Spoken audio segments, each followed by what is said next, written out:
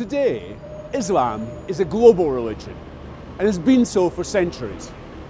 Yet its rise onto the world stage took place in a few dramatic years following the death of the Prophet, peace be upon him, with the rise of the First Caliphate, whose rule extended from the Atlantic Ocean to the borders of the Chinese Empire. In this programme, we want to look at the economic, political and social factors behind the rise of that first caliphate. In order to find out about the expansion of Islam in the years after the death of the Prophet, peace be upon him, and the creation of the first caliphate, I went to two great seats of learning Oxford University and the School of Oriental and African Studies in central London. In Oxford, I interviewed Chris Wickham, Chichele Professor of Medieval History, while at SOAS, I talked to Professor Hugh Kennedy of the Arab Studies Department. Both men have written extensively on the subject at hand. Professor Wickham, what was the world into which the Arab armies entered at the beginning of their conquests? Well, it's a world dominated by two great empires the Eastern Roman Empire, we often call it the Byzantine Empire, and the Sasanian Empire of Persia. Um, they've been in existence for centuries. Um, the Sasanians come in in Persia in the third century, but Persia's been around since the fifth, sixth century BC. Uh, the Roman Empire's been there since the year dot, literally. Uh, and in the last 50 years, they have been fighting each other, and in the last 20 years before the Arabs come in in the 630s, they've been, they have been fighting each other mortally, as, as you might say. Um, and it's a period, therefore, in which the, the two great superpowers are extraordinarily weak because they're exhausted by this war. Um, and the Arabs have been on the edge of both for centuries. Um, they're settled in the Roman Empire, they're settled on the edge of the Sasanian Empire, and then they're settled just outside in the semi-desert, what is now, let us say, eastern Syria, eastern Jordan, down the, down the coast of Saudi Arabia, Yemen, um, a lot of them in Yemen. And then, then there are nomads in the desert Bedouin. The world was uh, a world that was divided between two great and ancient civilizations, each one represented by an empire. The Greco-Roman civilization, represented at this stage by the Byzantine Empire with its capital in Constantinople, ruled over the eastern Mediterranean, including Egypt and Libya and um, the whole of the eastern Mediterranean. The contrast with that, and in many ways opposition to that, uh, was the Persian Empire, ruled by a dynasty named after a dynasty called the Sasanians, who'd been in power in Persia since effectively the 220s, 230s. So it was a dynasty that had been around for some 400 years by the time that the, the Muslims came. And each of these different, um, both these different empires had their own religious identity as well as a political identity and linguistic identity. The, the Christianity of the uh, Byzantine Empire and the Zoroastrian Mazdaism of the uh, of, of the Persian Empire meant that they were religious rivals as well as cultural and military rivals.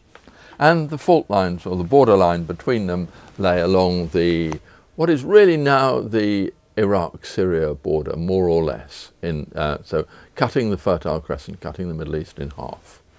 And before the Arab armies entered onto the scene, they'd fought a fairly uh, horrendous war in which really yeah. fought each other to a standstill, yes. effectively. Yes, there, were the, there was a terrible war that fought, and where they fought each other to a standstill, as you say. But there's also something, in a way, even more destructive going on, and that is the recurrent visitations of plague, which bubonic plague, like the Black Death of, of the later Middle Ages, um, that certainly destroyed many, uh, greatly reduced the population. I mean, we don't know exactly, but probably up to anything up to a third of the population was killed. And it came in recurrent waves. And so we have a society that was, as it were, stressed out by warfare, but I think he probably even more stressed out by plague and, and the depopulation that resulted from plague. The Arabs are often portrayed as Bedouin, but it wasn't quite as simple as that, was it? No, it certainly wasn't. I mean, the Bedouin are clearly quite often shock troops. They're, they're good at fighting. Um, but, but in percentage terms, there actually aren't all that many of them. Um, it's roughly like now. Um, but perhaps the percentage was, was slightly larger. But if 10% of the Arabs are Bedouin, I'd, I'd, I'd be surprised. The Arab takeover of what we now call the Middle East and then North Egypt and North Africa was not just simply a uh, military conquest, was it? Well, it certainly is a military conquest. Um, in fact, it's probably the fastest military conquest of an area as big as that that there ever has been. Um, in in ten years, they got from what is now Libya to what is now Afghanistan, um, and then in the then in the next hundred years, they got from Spain to what is now the border of China and and the border of India. But it's a conquest that is the establishment of a system that's, that's more novel than they initially thought it would be, I think. Um, they create an empire which certainly draws on Roman traditions, it draws on Persian traditions, and it certainly draws on the expertise of the administrators, the local administrators of Egypt or Syria or what is now Iraq uh, what, what is now Iran. But it's also a, an empire that's held together by religion. It's held together by their religion, by, but by the, the, the newly developing Islam. Um, but in, in, every place, the Arabs are a tiny minority um, for a very long time, and therefore they have to get buy in from the local population. Um, and so th- they create um, and it, it's quite an achievement. They, they create a system that doesn't actually ever have any very serious revolts against it in the, in the early years of the establishment of the caliphate. The military conquest was important, but even more important in, in the, the medium and long term, as, as, if you like, the cultural conquest. We have to distinguish between two distinct processes here. One is conquest, which is a violent and military event. The second is conversion of people to Islam, which is almost entirely peaceful and goes on over four or five centuries. I mean, it's probably not, uh, not until about 11 or 1200 even uh, that the majority, a bare majority of the people in, in the Middle East become Muslim. So it's a slow burn in terms of the majority of the population of these regions, they were Christian and, and indeed substantial Jewish populations, and they seem to accept Muslim rule. Well, yeah, that's partially because it's not their job. Um, it's the job of the Byzantine army. And the Byzantine army packs up after the first major battle. The Battle of the Yarmouk, 636, uh, it's right now exactly on the border between Jordan and Syria. Um, and it's a big Byzantine defeat and the Byzantine army melts away and they focus on, on, on defending what is, what is now Turkey. Um, they don't do a very good job at defending Egypt after that. And, but there's a sense of it's happened so fast that it, wouldn't really be realistic for individual cities that don't have any, any tradition of their own militias to, to defend themselves against the Arab attack. Yes, that's true, because they were regarded by the Byzantines as, as heretics and therefore they wouldn't have had perhaps that ideological loyalty to the empire that you got in, in what is now Turkey, the heartlands of the Byzantine Empire, where the people were, uh, were what we call Greek Orthodox and much more um, in tune, shall we say, with their rulers. And the same happens in Iran as well, where the uh, Zoroastrian religion was very much the religion of the state and the ruling classes. But probably many more people were Christians and Jews and, and, and other groups within it. So that it's not, it's not a religious homogeneity there either. Now, one of the things that strikes me about it, I mean, Muhammad obviously, uh, people had great gifts, but one of the things he achieved was he managed to create a leadership team. Now, succession is always difficult, yeah. but, and there were some difficulties, but the people who came after him, Abu Bakr and so on, they had fantastic talent in terms of leadership. I mean, yes, I think this is true, and that it's really a fairly small group of leaders, of mostly from Muhammad's tribe of Quraysh, uh, from Mecca, who establish and really take control of the movement, take it almost by the scruff of its neck, take control of the movement, and make sure that rather than breaking up after the Prophet's death, which could easily have happened, that they in fact uh, organized Muslim armies to go out on these conquests. It was a question of, I think, expand or break up, and they chose expansion, and they organ and these setting out of these sending of these armies and so on, was a very organised process. It, was, it wasn't just all chaos, a sort of whole migration of vast numbers of people in a chaotic way. It was rather a carefully organised uh, series of military campaigns under leaders who were responsible to, as it were, the leadership in Medina and Hejaz. But the Arabs also offered them terms that essentially, if they accepted Arab rule, they paid a poll tax, yeah. they would be allowed to continue yeah. on their own ways, and their religion would be relatively protected. The most obvious case of that is Jerusalem. Yes, indeed, that's quite true. Um, partly, it's a question of a deal. If you don't defend your city, you can stay and you don't have to worry, you just have to pay this tax. If you do defend your city, we have the right to take away all your property. Um, and since since they don't have a militia, that's a, that's a, that's a, an issue that, that's easily dealt with. Evidently, we're going to give in. But the actual conquest of each city does seem to be, with, with, with one or two exceptions, relatively straightforward and, and relatively unproblematic. Uh, there was a high degree of toleration on conditions. I mean, the, the, basically people were offered a bargain that you submit and acknowledge our authority and you pay taxes. And those two were absolutely essential. In return for that, you can basically carry on your existing life as much as uh, much in the way you've always done. You have rights to your churches, uh, rights to your religious uh, celebrations, and uh, rights obviously to your houses and your lands and so on. So it was a fairly simple bargain. And also going, I mean, looking further on into the Golden Age, a respect also for the culture, the knowledge of these societies that incorporated. Oh yes, I don't think there can be any doubt about that because it was this culture was all around them, and the, the Muslims were a fairly small minority to start off with, and so they had to reach an accommodation with with with the majority. One thing that is um, perhaps it's, it's, it's worth bringing out is the role of Arabic here and the way in which Arabic becomes such an important language. Arabic, of course, is the language of Quran. It's the language of God. And therefore it was essential to the religious uh, message of the conquerors. What is very striking is the way that the early caliphs, particularly Umayyad Caliph Abdul Malik, um, organizes an Arabic reading, writing administration that puts up monumental inscriptions like the one in the Dome of the Rock, the oldest um, Arabic surviving inscription, uh, that uh, mints Arabic coins with Arabic writing on them, uses Arabic in the everyday language of administration.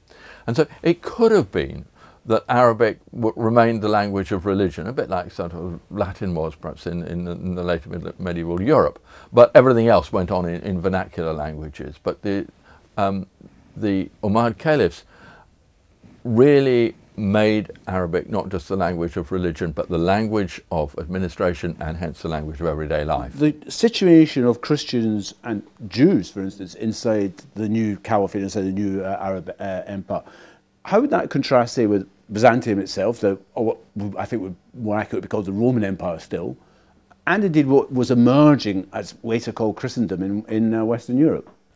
Um, well, the Arabs are happy to let what they call peoples of the book um, continue and and live their own lives and, and practice their own religion. The Arabs are certainly not interested in converting people. Uh, in fact, for the first decades, at least, maybe maybe slightly longer of the caliphate, that they're they're not particularly enthusiastic about such conversions, although plenty plenty of them happen.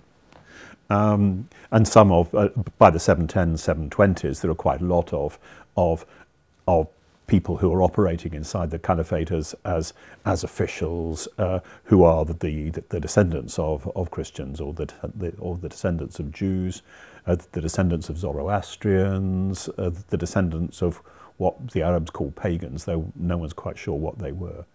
Um, so so uh, there is a very slow conversion process, but it doesn't actually get fast until the 10th century. That's, that's three centuries later. And again, it's not, it's not done in a framework of coercion at all. It's, you know, if you want to, to, to become Muslim, that's fine, but by the 10th century, and by the 10th century, it's quite a fast process. But again, it, it, it, it, it isn't in itself coercive. If you were to travel from France in that period, say the 7th century, the 8th century, to, let's say, Al Andalus, Toledo, later on uh, Cordoba, what would the contrast be? Well, the, the contrast is, is really an 8th century contrast because the, because the Arabs and the Berbers conquered Spain in 711. Um, but but, but uh, we get accounts of travel in the 10th century. Uh, and the accounts of travel that we get in the 10th are Germans going to Cordova, uh, above all Cordova, and being, well, horrified because it's Muslim rather than Christian, but unwillingly impressed by its complexity. Uh, th- th- there is, for example, in the 750s, uh, an emissary of the Emperor Otto I, who is based in northern Germany, to Abd al-Rahman, the, the Caliph in Cordova. Um, and the emissary, uh, he's an ambassador, um, is badly chosen, I think, on Otto's part because he, chose, he chooses a famously ascetic monk who's, who's abbot of Gorze, uh, which is near Metz now in, in eastern France. And John of Gorze decides with his companions that their task is to, is to convert the, the caliph. Um, and of course, if you go into the Caliph's Hall in Medina al-Zahra uh, in, in Cordova and, and try to convert anybody, you're going to get killed straight away, um, as you would have done if you wanted to convert Otto to, to, to Islam. Um, but they get to Barcelona or somewhere like that, and, um, and they're discussing this. And the following day, the, the, the local ruler calls them in and said, You know, we have spies. Um, you're just not going to do that. Um, and, and they get stuck there. That they don't get out of uh, Barcelona or, or, or, Valencia or whichever town it is. Um, and it takes them about a year to get to Cordova. By then, which, which gives them time to send messengers back to Otto saying, shall we do this? And get messages back saying, under no circumstances. But the, the whole account of being in that world is an account of people who are just amazed by its sophistication, uh, although hostile because it's, because it's of a different religion. Yes, you would have noticed huge contrasts in uh, the way people lived in cities, uh, the way people had public baths and these sort of civic amenities. You'd have also noticed a big contrast in the way people use money in everyday life for buying and selling things that they needed to eat and drink and wear and things like that uh, you'd have noticed a lot of that. Um, you'd have noticed an army that was uh, stationed in garrisons and so on. You'd, have not- you'd have noticed a public administration that used reading and writing very extensively, as we can still see from the traces of it that are left in the Egyptian papyri, where of course a lot of this material still survives. A lot of these early Arab documents still survive. Was all contact with the, the Near East cut off in that period, or did it continue? Yeah, it continues. It's always possible to do a pilgrimage to Jerusalem. Uh, there are there are accounts in every century of people from from England, from France, from Germany doing pilgrimages of that kind. They they tell stories about it because it's because it's a big deal. Well, it was a big deal into the 16th century as well. Um, and um, and there are almost no periods in which it's difficult, or what? No, there are almost no periods in which it's opposed by the Muslim rulers. Uh, perfectly happy for it to occur. They do pilgrimage to Jerusalem too. Um, and there are always boats going through the Mediterranean. It's just that in the 8th century there are certainly fewer boats. Um, th- and the east west links between Italy and the eastern Mediterranean are held up by, by Byzantine boats, above all, running from Sicily to the Aegean, and then you can pick up a boat in the Aegean, get it to Cyprus, get it to the to the eastern to the Levant coast. It's because if you read the stories of, say, Sinbad the Sailor, I mean, his world of commerce and navigation is the Indian Ocean. And Oh, oh, absolutely, definitely. Europe doesn't re-enter into it. No, one of the things that uh, various um, archaeological other discoveries recently uh, made it clear is is that the uh, the Indian Ocean commerce is is a big development of the early Islamic period. Um, there was very little Indian Ocean commerce in in the period before the coming of Islam, from really the eighth century onwards, say the year 800 onwards, we begin to get, or we get really quite suddenly this development of uh, Arab ships going to China and, and things like that. And bringing back things like paper, for instance. Yes, bring though the paper seems to come. The paper idea probably comes over land, but certainly the technology of paper. There is a, an old established story which historians have typically sort of decided to play down in, in you know, and, and question and so on. But I think the evidence stacks up that paper, which is hugely important for the development of writing and culture, and, and because it democratizes writing, it makes writing so much cheaper and easier, that paper is imported into the Arab Middle East in the late 8th century uh, by Chinese prisoners of war who bring the technology with them. And it's, it's uh, the evidence from different areas really is, is, is quite impressive on this. Um, it was to the east, it was into Iran, it was into the Indian Ocean, though that's always luxury.